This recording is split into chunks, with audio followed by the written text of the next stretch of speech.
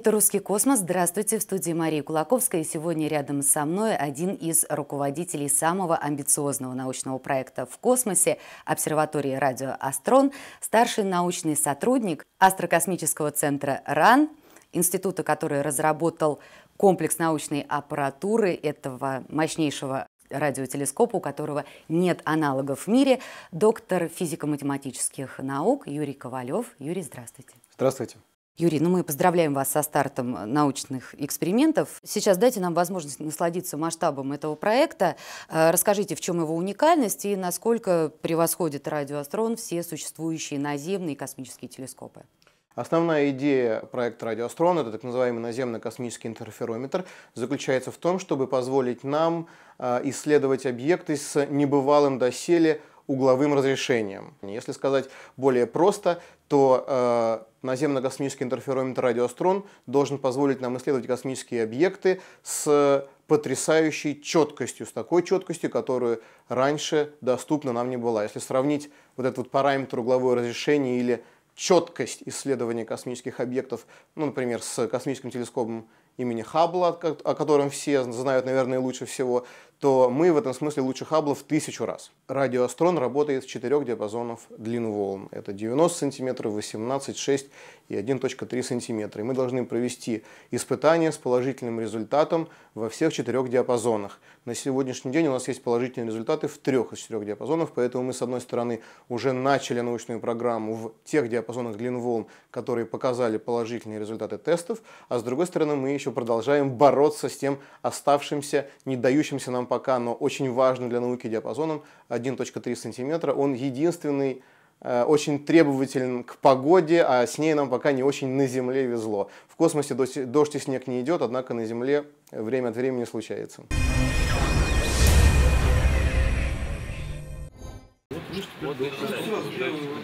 Несколько месяцев на тестирование систем, летные испытания. И вот первый сигнал от радиоастрона. Научные данные стали поступать в Пущинскую обсерваторию. Аппарат сейчас э, находится на своей орбите на удалении от нашей станции порядка 90-100 тысяч километров где-то. Вот с этого расстояния мы, значит, принимаем информацию. Резкий скачок на графике и есть начало передачи данных. Это означает, что в поле зрения радиоастрона пульсар в карбовидной туманности.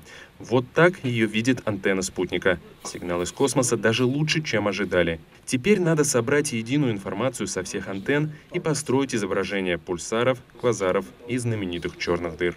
После этого построения, возможно, будет построение карты изображения, радиоизображения этого источника. И после этого так сказать, ученые начинают делать выводы о структуре этого источника, о тех процессах, которые там происходят. Вот в этом, собственно, заключается сам процесс радиоинтерферометрических наблюдений. У астрофизиков сейчас бессонные ночи. Уйдут еще недели и месяцы, прежде чем мир увидит границы Вселенной. То, то что на сленге э, астрономов радиостанов называется грязная карта, получается вот такая чистая карта, вот такая красивая, четкое изображение, где уже параметры вот всех этих струй, этих ядер, э, черных дыр, уже физически э, имеют смысл. То есть уже физики, астрофизики могут с ними работать, там, выдвигать свои теории и прочее, прочее, прочее. У человечества теперь есть собственные глаза во Вселенной.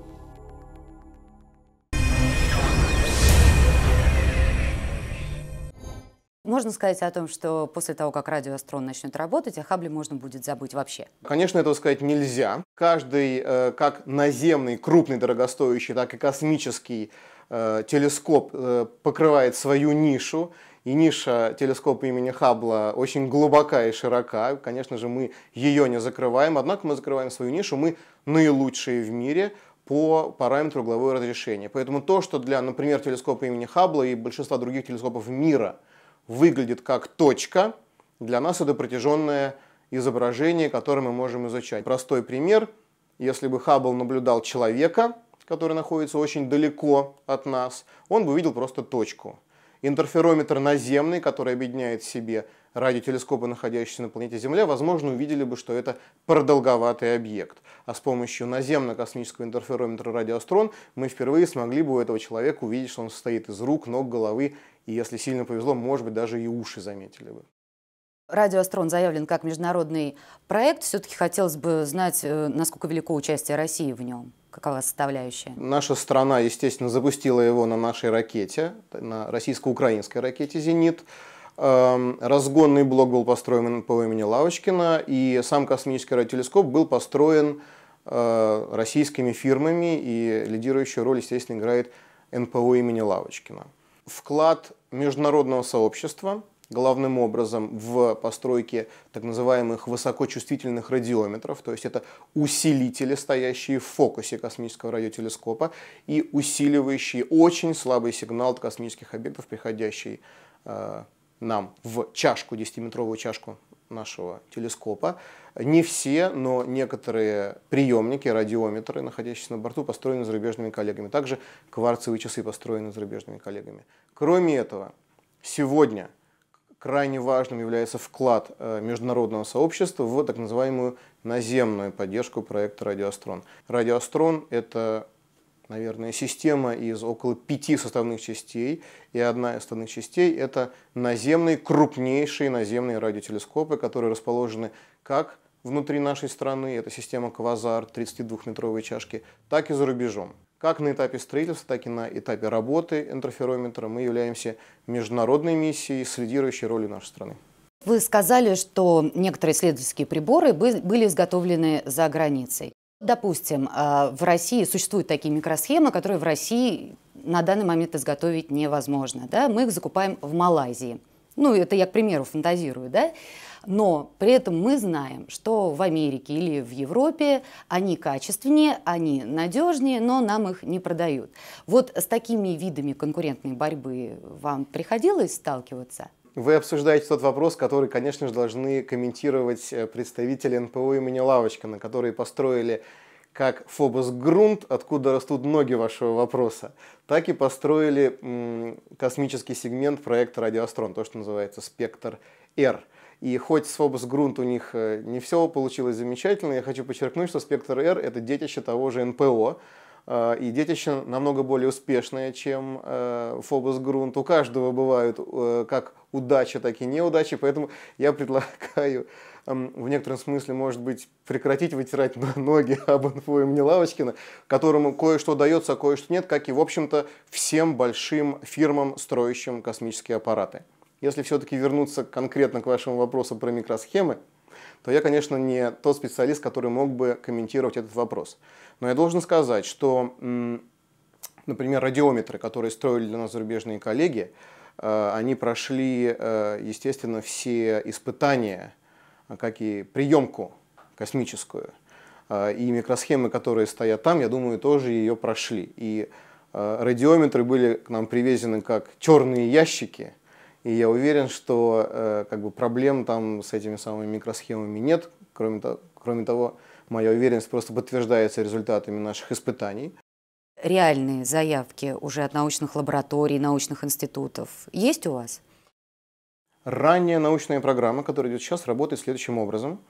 А, формулировки задач для ранней научной программы делают э, международные группы ученых – которые в свое время вкладывали свое время, силы и также деньги своих стран в проект «Радиоастрон».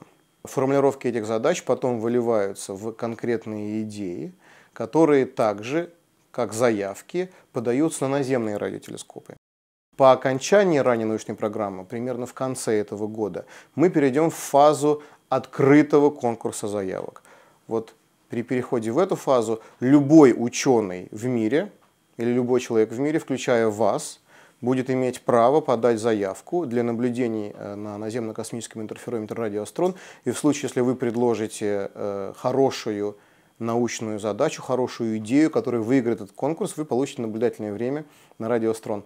Однако в этом случае для вас все только начнется, потому что потом вам надо будет участвовать в планировании эксперимента. У нас планируется очень серьезная поддержка ученых, которые желают работать, ставить задачи для миссии «Радиоастрон». И э, требований, что вы разбирались, э, грубо говоря, в каждом винтике, конечно же, нету. Мы знаем, что все перед э, радиоастроном ставятся глобальные задачи, космологические вопросы надо решать, да, и чуть ли там не возраст Вселенной, мы узнаем и это изучение черных дыр, и темной материи. Вот интересно, с чего вы начали и какие данные уже удалось получить? Ранее научная программа все-таки началась относительно недавно. И у нас есть три направления, в которых мы ведем свою работу. Это исследование квазаров, то есть активных галактик, которые находятся очень далеко от Земли, на расстоянии миллиардов световых лет. И понятно, что раз они находятся очень далеко, они выглядят для нас как очень компактные, очень маленькие объекты. И как раз с помощью радиоинтерферометра, наземно-космического радиоинтерферометра радиоастрон, мы сможем впервые заглянуть в самую глубину этих объектов. Мы надеемся подойти очень близко к так называемой центральной машине, которая, скорее всего, является сверхмассивная черная дыра, то есть это очень тяжелый объект массой миллиарды солнечных масс. Свет оттуда выйти не может, поэтому называется черная дыра. Вокруг нее находится так называемый аккреционный диск, откуда вещество падает на черную дыру и также частично вырывается наружу в виде направленных выбросах очень быстрого релятивистского вещества. Вот это вот первое направление наших исследований. Мы надеемся подойти очень близко к вот этой вот сверхмассивной черной дыре, находящейся в центрах квазаров. Другое направление исследования – это пульсары. Это опять же, очень компактные, их иногда называют мертвые звезды, которые вращаются с очень большой скоростью и э, чиркая по нам, по Земле, лучиком, который выходит из полюсов пульсаров, э, мы можем на Земле видеть такие очень короткие импульсы. Э, их интересно исследовать как таковые на основе исследований пульсаров можно даже проверять общую теорию относительности, но также пульсары крайне полезны потому, что с их помощью можно исследовать характеристики межзвездной среды, то есть того вещества, той плазмы, которая находится между нами и пульсарами. И третье направление – это протозвезды, э, то есть это области, где рождаются звезды, и вот с помощью исследований с радиоастроном мы надеемся лучше понять процесс рождения звезд.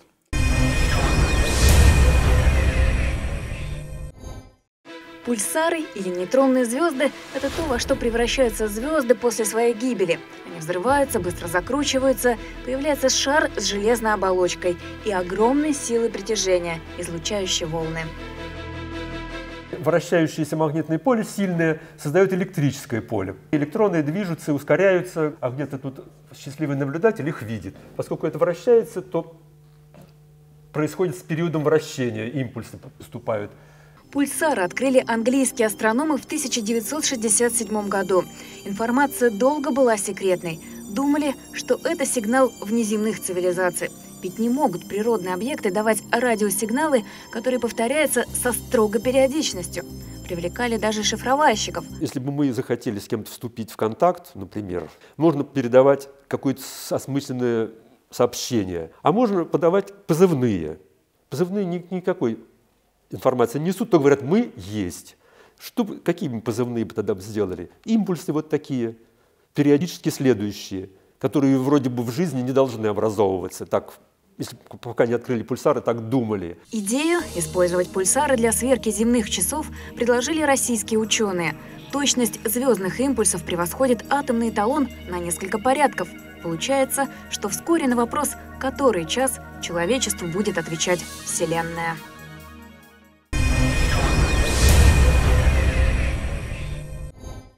Какие наземные телескопы будут участвовать в программе наблюдений?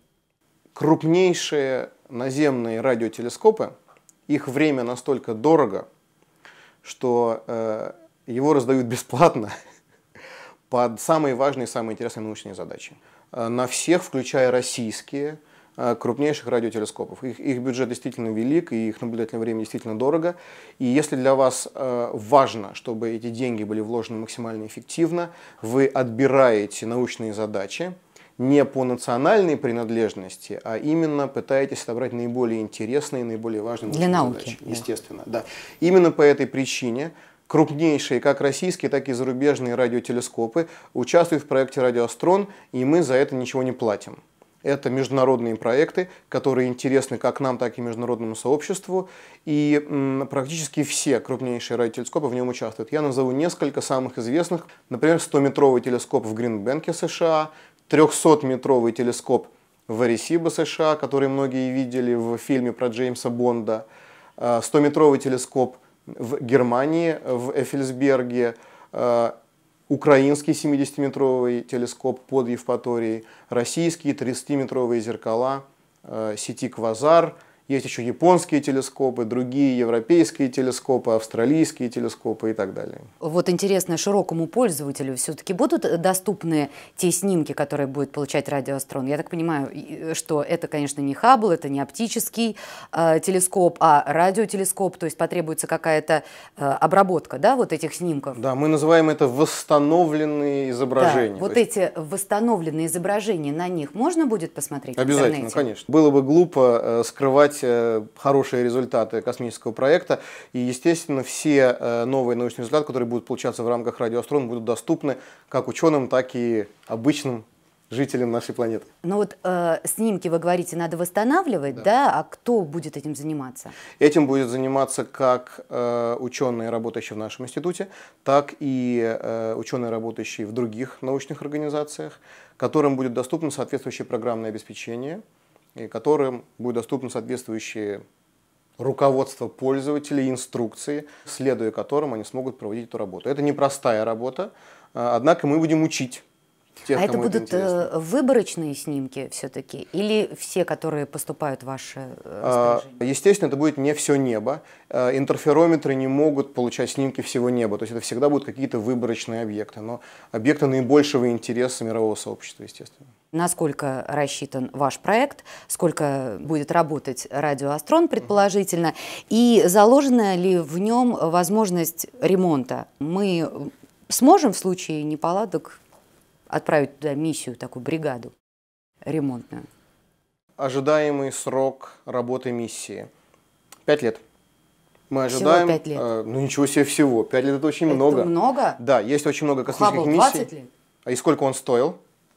А Если сколько мы... стоит, кстати? Это тоже интересно. Да, это вопрос не ко мне, мне тоже это очень интересно. Э, я слышал следующее утверждение, что э, проект Радиоастрон Спектр R стоит эм, сумму, сравнимую со стоимостью Фобос Грунт. А так как мы все знаем, сколько стоил Фобос Грунт, это 5 миллиардов рублей, я так понимаю, что сравнимую сумму стоил и Спектр R. Хаббл стоил, конечно, несравнимо большие деньги, стоит, я думаю, что больше, чем в 10 раз больше. Мы ожидаем, что радиострон будет работать 5 лет. 5 лет это очень неплохо для космической миссии. Есть немало миссий, которые работают только год. Мы ожидаем, что мы проработаем 5 лет, возможно и дольше. Возможности чинить спектр R по-моему, у нас нет, и подобная возможность никогда не была предусмотрена. Ну, я думаю, что она будет стоить настолько дорого, да, сколько и, наверное, это просто неосуществимо с теми э, ресурсами, которыми мы сейчас обладаем. А, но я должен подчеркнуть, что это не означает, что вот он брошен на произвол судьбы и что будет, то будет. Нет, например, у нас есть возможность провести коррекцию орбиты. И, конечно же, а, орбита рассчитана таким образом, чтобы спутник никогда на Землю не упал, но точность выведения спутника на орбиту это примерно 10%. Спектр R был выведен на орбиту с еще лучшей точностью, чем 10%. Орбита спутника эволюционирует. У нас есть возможность ее подправлять, чтобы в какой-то момент не упасть на Землю. И подобная подправка в ближайшее время будет проведена. Но если вы сказали, что Хаббл стоил в 10 раз как минимум да, больше, чем радиоастрон, э, я хочу вас спросить, какие же технологии позволили вам сделать радиоастрон в тысячу раз лучше? Речь идет, естественно, про громадное количество людей и организаций, да, в основном нашей страны, но и за рубежом, которые в этом участвовали. Я отмечу несколько технологий э, уникальных, которые впервые были реализованы в рамках проекта «Радиоастрон». Во-первых, э, это космический радиотелескоп, который раскрылся как зонтик э, на орбите вокруг Земли. Вот э, он был запущен вот так вот в сложном состоянии, и на орбите Раскрыл раскрылся. Лепестки. Да. Время раскрытия составляло примерно 10 минут. Произошло оно а, примерно через 5 дней после запуска. Было для нас очень нервным событием. А, много в новостях писали о том, что раскрылся он не сразу. На самом деле раскрылся он сразу, однако не сразу удалось зафиксировать 27 лепестков в раскрытом положении. А это именно вот это зеркало, да, телескопа? У нас лепестки? есть центральная часть, это диаметром 3 метра, угу. и до 10 метров раскрывались лепестки, 27 штук из углепласта. А, и у нас была очень тяжелая ночь, никогда ее не забуду, с пятницы на субботу, когда мы в пятницу знали, что он раскрылся, но а, пока зафиксировать лепестки не удалось. И вот в субботу утром пришло известие из НПО, что все закончилось удачно. Вот насколько я знаю, никогда ранее а, лепестки, построенные с такой точностью поверхности, а точность поверхности этих лепестков составляет доли миллиметра, не были запущены в космос и никогда не раскрывалась антенна в космосе э, вот таким механизмом э, такого размера. Э, идея заключается в том, что в основании космического радиотелескопа поворачивалось кольцо, к которому тросиками были привязаны эти 27 лепестков. И вот при повороте кольца тросики медленно раскрывали этот цветок, состоящий из 27 лепестков на орбите Земли. Это очень красиво, это очень красиво, однако я думаю, что это очень непросто. Кроме этого, впервые, э, я думаю, что это действительно было сделано впервые в истории нашей страны, мы запустили атомные часы в космос. И это, конечно же, первые атомные часы, запущенные в космос производства э, русской фирмы «Время Ч». А точнее, мы запустили даже две копии Э, наши ракеты настолько мощные, что можем поставить даже две копии атомных часов, которые вот вот громадные. Это было очень правильное решение, потому что один из стандартов, когда мы его включили, э, не захотел работать настолько хорошо, как это от него требуется, поэтому вот мы сейчас работаем со второй копией, и она работает великолепно.